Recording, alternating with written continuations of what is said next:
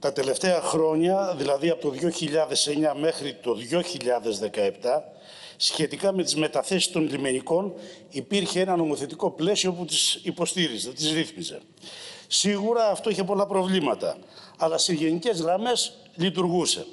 Το 2017 επί ΣΥΡΙΖΑ θεσπίζονται κάποιες άλλες διατάξεις, με κάποιες από αυτές να κινούνται σε θετική κατεύθυνση και άλλες όχι. Το 2020 το Υπουργείο σας τροποποιεί ξανά το νομοθετικό πλαίσιο, θεωρώντας προφανώς ότι το βελτιώνει. Μια παρένθεση εδώ. Τα νομοθετήματα του ΣΥΡΙΖΑ ουδέποτε εφαρμόστηκαν στην πράξη γιατί δεν εκδόθηκε ποτέ το σχετικό προεδρικό διάταγμα που θα τα ενεργοποιούσε. Και ερχόμαστε στην κυβερνητική νομοθετική πρωτοβουλία, τη δική σας, η οποία δεν εφαρμόστηκε άμεσα σε αναμονή του σχετικού προεδρικού διατάγματος, το οποίο εκδόθηκε το 2021 και το οποίο από τότε που βγήκε αποτελεί και το ρυθμιστικό μηχανισμό των μεταθέσεων. Το πρόβλημα τώρα, το πρόβλημα είναι ότι σε συνδυασμό με τις οργανικές θέσεις που κατά την άποψή μας δεν κατανεμήθηκαν σωστά. Δηλαδή, από τη μια υπήρξε μια αύξηση των οργανικών θέσεων, κάτι που είναι θετικό. Δηλαδή, από τις 8.000 περίπου, τις πήγατε στις 9.500. Και από την άλλη, έτσι όπως κατανεμήθηκαν, κυρίως στα νησιά, δημιουργήθηκαν δεδομένα έντονης ανισοκατανομής των θέσεων. Το διατάφτα είναι ότι η Νέα Δημοκρατία, με βάση το νομοθετικό πλαίσιο που είχε ψηφίσει ο ΣΥΡΙΖΑ, δημιούργησε ένα προεδρικό διάταγμα, το οποίο ουδέποτε λειτουργήσε. Αποτέλεσμα αυτού είναι το 2021 να μην γίνουν μεταθέσεις στο λιμενικό σώμα το ΔΕ 2022 να λήξει η προθεσμία που είχαν τα Συμβούλια των Τακτικών Μεταθέσεων στις 28 Δευτέρου, πριν από 4-5 μέρες, για να κάνουν τις καινούργιες μεταθέσεις. Άρα για τους λιμενικούς δεν είχε μεταθέσεις, ούτε για το 21, ούτε για το 22, αν είναι δυνατόν. Κύριε Υπουργέ, γνωρίζετε πολύ καλά ότι το προσωπικό του λιμενικού σώματος έχει απαυδίσει από αυτή την κατάσταση τα προσωπικά προβλήματα, τα οικογενειακά προβλήματα που δημιουργούνται και συσσωρεύονται είναι πλέον τεράστια. Προς τιμήν τους, οι συνδικαλιστικοί φορείς και αναφέρομαι στην ΠΟΛ, την ΠΟΕΠΛΣ και την ΠΕΑΛΣ κάνουν συνεχώς προτάσεις. Η αφετηρία της σημερινής μας ερώτησης, για παράδειγμα, είναι έγγραφο της ΠΟΛ, που στάλθηκε σε όλα τα πολιτικά κόμματα. Εμείς σας ρωτάμε τι μέτρα προτίθεται να πάρει η κυβέρνηση, προκειμένου να γίνουν οι τροποποιήσεις που ζητούν οι εκπρόσωποι των λιμενικών στο καθεστώς των μεταθέσεών τους. Και δεύτερον, να προσκληθούν και οι τρεις συνδικαλιστικοί φορείς, ΠΟΕΠΛΣ, ΠΟΛ και ΠΕΑΛΣ, ώστε να καταθέσουν τις σχετικές τους προτάσεις. Σας ευχαριστώ. Και εγώ ευχαριστώ κύριε Παπαναστάση. Κύριε Υπουργέ, έχετε το λόγο. Ευχαριστώ πολύ κύριε Πρόεδρε. Κύριε συνάδελφε, από την ε, πρώτη μέρα που έχω την τιμή να ηγούμε στο Υπουργείο Ναυτιλίας και Νησιωτικής Πολιτικής, διαρκώς μεριμνούμε για τα στελέχη του λιμενικού σώματος ελληνικής ακτοφυλακής. Ήδη έχουμε ενισχύσει με εξοπλισμό, με μέσα, με υποδομές τα στελέχη του λιμενικού σώματος, γνωρίζοντας ότι ζούμε σε ένα περιβάλλον όπου εξελίξεις είναι ραγδαίες στον χώρο της ναυτιλίας, όπου τα προβλήματα δημιουργούν γεωπολιτικές εξελίξεις στην περιοχή μας, επομένως η δράση και η αποστολή του λιμενικού σώματος έχουν αλλάξει. Μετά από πολλά χρόνια αυξήσαμε την οργανική δύναμη του λιμενικού σώματος κατά 1.500 άτομα, 900 εξ αυτών υποχρεωτικά ε, στα νησιά και βεβαίως σε συνεργασία και με τους θεσμικούς εκπροσώπους των λιμενικών βελτιώσαμε την ποιότητα ζωής και την καθημερινότητα των στελεχών του λιμενικού σώματος νομοθετώντας συγκεκριμένες παρεμβάσεις. Φαρμακευτική κάλυψη για όλα τα στελέχη του λιμενικού σώματος μέσω ΕΟΠΗ, απλούστευση της διαδικασίας για τον συνήγορο του ε, λιμενικού και βεβαίως τη συνεχή ενίσχυση του σώματος που στο εύρος της τριετίας θα υπερβεί τα 1080 άτομα. Στο πλαίσιο αυτό, με αυτή τη λογική, τέθηκε σε ισχύ το Προεδρικό Διάταγμα 11 του 2021 για τις μεταθέσεις, αποσπάσεις, διαθέσεις των στελεχών του λιμενικού σώματος. Και συνάδελφε, τι ίσχυε; Μέχρι σήμερα το Προεδρικό Διάταγμα το 33 του 2009. Ξέρετε τι λέγατε εσείς; Για το συγκεκριμένο Προεδρικό Διάταγμα που σήμερα μας λέτε ότι καλώς ή κακώς λειτουργούσε μέχρι σήμερα. Ήταν ξεπερασμένο, η εφαρμογή του ήταν το λιγότερο παλικιστική, ευνοούσε κατάφορα τους γραφτολογικούς μηχανισμούς και εξυπηρετούσε μόνο γνωστούς και ημετέρους. Αυτά λέγατε. Με άλλα λόγια, ένας τέλεχος που δεν είχε μπάρμπα στην κορώνη μπορούσε να μείνει εγκλωβισμένος στο Καστελόριζο ή στη Σάμο για 15 χρόνια. Τι κάναμε εμείς; Εμείς από την πρώτη στιγμή είχαμε συνεχείς και διεξοδικές συναντήσεις με τους θεσμικούς εκπροσώπους των λιμενικών και φυσικά με το αρχηγείο του λιμενικού σώματος για την εφαρμογή ενός σύγχρονου, αξιοκρατικού και αντικειμενικού συστήματος αναγκών, πάντα βέβαια υπό το πρίσμα των υπηρεσιακών αναγκών και της δημοσιονομικής πειθαρχίας που πρέπει να τηρείται. Το πιο σημαντικό όμως είναι ότι εμείς βλέπουμε αυτό το πλαίσιο με ορίζοντα μέλλοντος. Τη συνεχή και ορθολογική στελέχωση του λιμενικού σώματος και βέβαια την πλήρη αξιοποίηση των επιχειρησιακών μέσων που συστηματικά αυτή η κυβέρνηση ενισχύει. Κύριο μέλημά μας, ποιος, ποιο είναι, είναι η ανταμοιβή των στελεχών που υπηρετούν στην πρώτη γραμμή, στο Ανατολικό Αιγαίο, σε απομακρυσμένες περιοχές, ώστε να βρουν το δρόμο προς τη βάση τους. Συγχρόνως, για μας δεν υπάρχουν ευνοημένοι ή μη ευνοημένοι. Επιτρέψτε μου λοιπόν με, να απαριθμίσω με τους συγκεκριμένους, αν θέλετε, χαρακτηριστικά αυτού του Προεδρικού Διατάγματος. Πρώτον είναι η αντικειμενική μοριοδότηση, η θεσμοθέτηση των κενών θέσεων, διότι τι συνέβαινε παλιά, υπήρχαν υπερστελεχωμένες και υποστηλεχωμένες υπηρεσίες. Επομένως, για να υλοποιηθεί μία μετάθεση, βασική προϋπόθεση είναι να υπάρχουν και νέες οργανικές θέσεις. Λαμβάνονται επίσης υπόψη και η κατηγορία στην οποία αναγγείλουν τα στελέχη. Και βέβαια υπάρχει μια σαφή και διαφανή διαδικασία μέσα από την οποία τα στελέχη μας πλέον δεν είναι έρμεα των όποιων παραδοχών ή ερμηνεών. Με άλλα λόγια, κύριε συνάδελφε, για την κυβέρνηση της Νέας Δημοκρατίας τέρμα η υποκειμενική αντιμετώπιση των στελεχών και βέβαια τέλος οι εκβιασμοί. Αυτό πλέον έχει τελειώσει για τη δική μας διακυβέρνηση.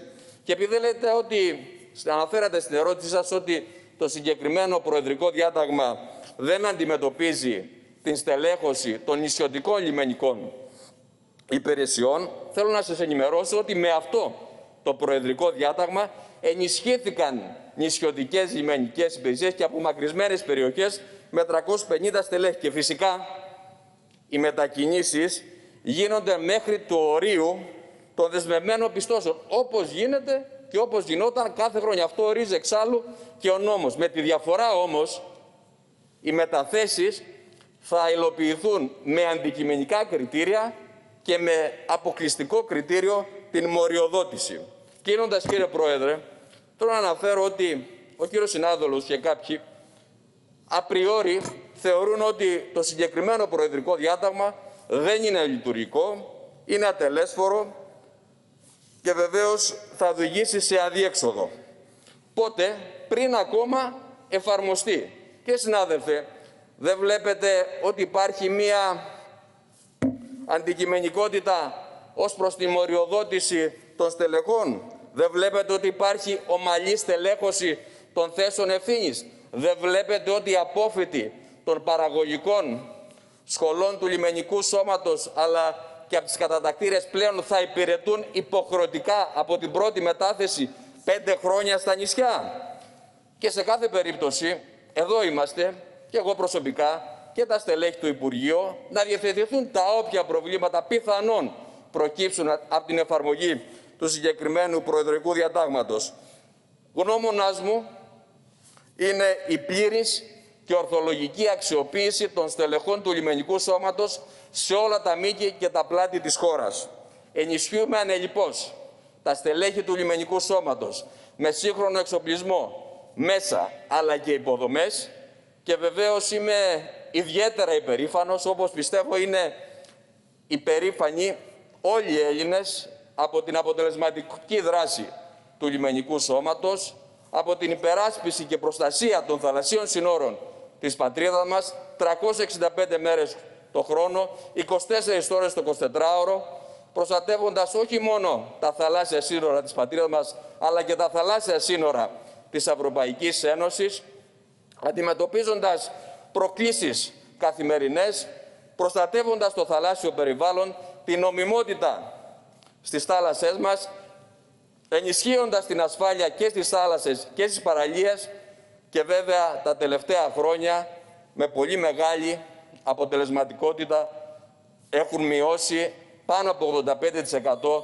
τις μεταναστευτικές ροές. Για όλους αυτούς τους λόγους είναι το ελάχιστο που μπορούμε να κάνουμε για τα στελέχη μας που καθημερινά υπερβαίνουν αυτό και δίνουν αγώνα για την υπεράσπιση της προστασίας των θαλασσίων συνόρων της πατρίδας μας. Ευχαριστώ κύριε Υπουργέ. Κύριε Παπαδαναστάση, έχετε το λόγο για τη δευτερολογία. Ευχαριστώ κύριε Πρόεδρε. Κύριε Υπουργέ, όσον αφορά τη στάση και την κριτική του κόμματος στο νομοθετικό πλαίσιο που προϋπήρχε, είναι γνωστό ότι και κριτική ασκήσαμε, το ανέφερα και στην πρωτολογία μου, ότι λειτουργούσε με πάρα πολλά προβλήματα και η κριτική που ασκούμε είναι πάντοτε κινείται στην κατεύθυνση υπεράσπισης των συμφερόντων των λιμενικών ασκώντας παράλληλα κριτική και στον μηχανισμό του λιμενικού σώματος σαν ένα από τα σώματα ασφάλειας τα οποία είναι, αλλά δεν θα σταθώ σε αυτό τώρα γιατί ο χρόνος είναι περιορισμένος. Εκείνο που θεωρούμε εμείς σημαντικό είναι πρώτον, δεν έγιναν μεταθέσεις τουλάχιστον το 2021 και δεν ολοκληρώθηκαν μέχρι το 28 Φλεβάρι του 2022. Δεύτερον, αναγνωρίζουμε και ακούμε τα προβλήματα τα οποία αναφέρονται σοριδών από το προσωπικό του λιμενικού σώματος, κάτι που δεν συμβαδίζει με την ηλουστρασιόν εικόνα την οποία περιγράψατε.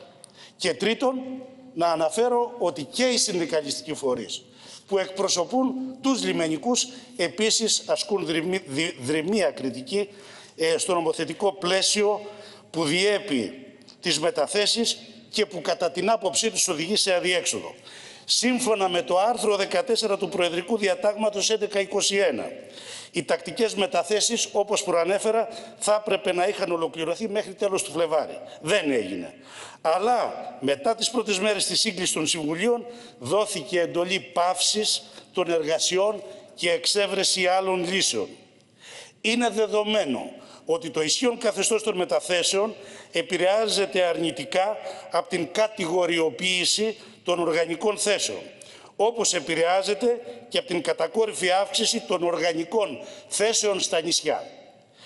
Είναι επίσης δεδομένο ότι χωρίς τις απαιτούμενες προσλήψεις απλά δεν μπορεί να εφαρμοστεί. Όποια προσπάθεια ενεργοποίησης και αν γίνει, μόνο αρνητικές επιπτώσεις θα έχει στο λιμενικό σώμα και τα στελέχη. Και θα είναι αρνητικές καθώς κατά τη διαδικασία των τακτικών μεταθέσεων μετατίθενται πάνω από 2.000 στελέχη, δηλαδή ποσοστό μεγαλύτερο του 1 τετάρτου των στελεχών του λιμενικού σώματος. Το 80% από αυτούς αφορά ανούσιες μεταθέσεις σε υπηρεσίες που δεν έχουν υπηρεσιακές ανάγκες, ενώ θα απογυμνοθούν πολλές από αυτές που λειτουργούν με εξειδικευμένο στελεχειακό δυναμικό, όπου και τίθεται το θέμα της ομαλής λειτουργίας τους. Θα υπάρξουν επίσης και στελέχη που θα μετατεθούν από το ένα νησί στο άλλο χωρίς να το επιθυμούν. Δεν υπάρχει τέλος δυνατότητα να ικανοποιηθούν ετοιμαστούν σε ε, πολλά έτη σε νησιά και επιθυμούν μετάθεση στον τόπο συμφερόντων τους, καθώς και το νέο οργανώ, με το νέο οργανόγραμμα οι νησιωτικές υπηρεσίες εμφανίζονται υποστηλεχωμένες κατά 50 με 60%, ενώ την ίδια στιγμή δεν υπάρχουν πλέον κενές οργανικές θέσεις σε υπηρεσίες που μέχρι πρότινος υπήρχαν κενά. Τέλος, μετατίθενται και στελέχη τα οποία σε δύο χρόνια συνταξιοδοτούνται. Δεν νομίζουμε ότι τους αξίζει αυτή η ταλαιπωρία. Πρέπει να αλλάξει αυτό το καθεστώς τώρα. Δεν πάει άλλο. Πρέπει να κάνετε συμμέτοχους στην οποιαδήποτε λύση σχεδιαστεί τους ίδιους τους λιμενικούς. Μέσω των συνδικαλιστικών τους φορέων. Τους παρακολουθούμε. Έχουν προτάσεις εφαρμόζεται μια, κατά την άποψή μας, προσβλητική συμπεριφορά προς τους λιμενικούς. Έχετε χωρίσει τις ομοσπονδίες σε καλές και κακές. Πίσω από τις ομοσπονδίες όμως βρίσκονται λιμενικοί, βρίσκονται οι οικογένειές τους και δεν έχει δικαίωμα κανείς να τους αγνοεί όλους αυτούς. Και κάτι άλλο πριν κλείσω. Μια και αναφέρομαι στις υπάρχουσες ομοσπονδίες.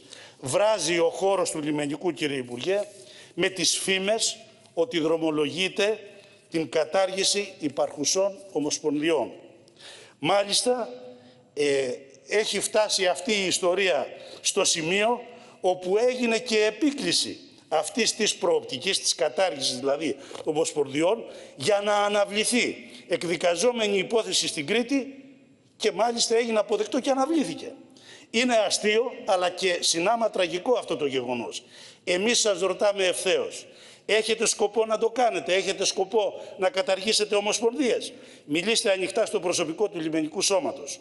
Τους χρωστάτε πολλά, επισημένοντάς σας ταυτόχρονα ότι αν προχωρήσετε σε αυτό το βήμα, πραγματικά αισθανόμαστε ότι θα ανοίξετε τον ασκό του αιώλου. Σας ευχαριστώ. Και εγώ σας ευχαριστώ κύριε Παπαναστάση. Κύριε Υπουργέ, έρχεται το λόγο για τη δευτερολογία σας. Με την αρχική μου τοποθέτηση έχω καλύψει πλήρως το θέμα της ερώτησης του συναδέλφου. Η συζήτησή μας όμως πραγματοποιείται στη σκιά της ρωσικής εισβολής. Η Ελλάδα, η κυβέρνησή μας, από την αρχή ξεκαθάρισε την εθνική της θέση και απερίφραστα έχει δηλώσει την πίστη της στο διεθνές δίκαιο και την αμέριστη συμπαράστασή της στον Ουκρανικό λαό που αντιστέκεται γενναίας του εισβολής. Επιτρέψτε μου λοιπόν να αξιοποιήσω το χρόνο σήμερα για να ενημερώσω το Σώμα για τις πρωτοβουλίες του Υπουργείου Ναυτιλίας και Ενισχυωτικής Πολιτικής σε σχέση με τα ελληνικά πλοία και τους Έλληνες ναυτικούς. Από την πρώτη στιγμή βρισκόμαστε δίπλα τους. Ενημερωνόμαστε διαρκώς για τις εξελίξεις και κατ' επέκταση ενημερώνουμε την ελληνική ναυτιλιακή κοινότητα. Καταγράφουμε την παρουσία και τις κινήσεις των πλοίων υπό ελληνική σημαία, αλλά και των ελληνόκτητων πλοίων με Έλληνες ναυτικούς στην Ουκρανία, τη Ρωσία και την ευρύτερη περιοχή της Μαύρης Θάλασσας. Έχουμε εκδώσει και ανανεώνουμε όποτε απαιτείται συστάσεις, οδηγίες προς τους πλοιάρχους αναφορικά με την ασφάλεια των πλοίων και των πληρωμάτων. Η επικοινωνία από τον θάλαμο επιχειρήσεων με τους πλοιάρχους είναι καθημερινή και βεβαίως και εγώ έχω την ευκαιρία και είχα την ευκαιρία να συνομιλήσω αρκετές φορές με τους πλοιάρχους μας στην περιοχή. Έχουμε επίσης ζητήσει την παρέμβαση των οικείων προξενικών αρχών έτσι ώστε να μας ελληνικό πλοίο που βρίσκεται αποκλεισμένο σε λιμένα πλησίων της Οδυσσού και ανταποκριθήκαμε άμεσα στην πρωτοβουλία της Γαλλικής Προεδρίας για την άμεση σύγκληση του Συμβουλίου του Διεθνούς Ναυτιλιακού Οργανισμού για την αντιμετώπιση της ασφάλειας της ναυσιπλοείας στην περιοχή αλλά και των ναυτικών στην Μαύρη Θάλασσα και την Αζωφική Θάλασσα. Το Υπουργείο Ναυτιλίας και Ενισχυωτικής Πολιτικής είναι σε διαρκή συνεργασία και με τις ναυτιλιακές εταιρείες και είμαστε έτοιμοι να παράξουμε κάθε συνδρομή. Όμως θέλω να στείλω ένα μήνυμα προς πάσα κατεύθυνση ότι η ασφάλεια των θαλασσίων μεταφορών, η ασφάλεια των ναυτικών μας, των πλοίων πρέπει να υπακούει στη γενικότερη προσπάθεια για την εμπέδωση της ειρήνης και την αποχή από πράξεις ανατροπής κυρίαρχων κατρών και μάλιστα ενέργειες που γυρίζουν την Ευρώπη και ολόκληρο τον κόσμο σε καιρούς σκοτεινούς που κανείς δεν επιθυμεί να ξαναβιώσει. Ευχαριστώ πολύ.